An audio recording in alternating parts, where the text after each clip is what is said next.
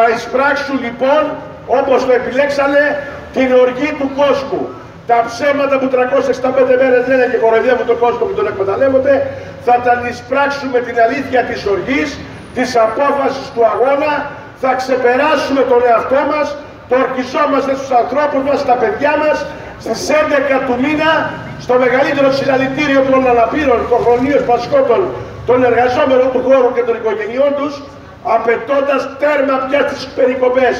Δεν θα πληρώσουμε τη ζωή των παιδιών μας, τα σχέδιά σας για να στηρίξετε την ανάπτυξη, τα κέρδη των επιχειρηματιών. Γιατί εσείς λέτε ότι κοστίζει ο ανάπηρος, αλλά όταν οι ανάγκες τους πρέπει να γίνουν εμπόρευμα, εκεί είσαστε θεοί. Να στηρίξετε την επιχειρηματικότητα και να πλουτίζουν από τον πόνο και την αγωνία του γονιού από την ανάγκη του να δει το παιδί του να περπατήσει, να σταθεί όρθιος στη ζωή.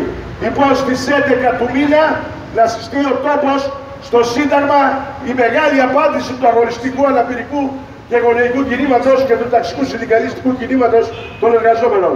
Το οφείλουμε στα παιδιά μας, προχωράμε με σχέδιο, με απόφαση, με οργάνωση, αξιοποιούμε όλες τις δυνάμεις να πετύχει αυτή η μεγάλη σημαντική κινητοποίηση.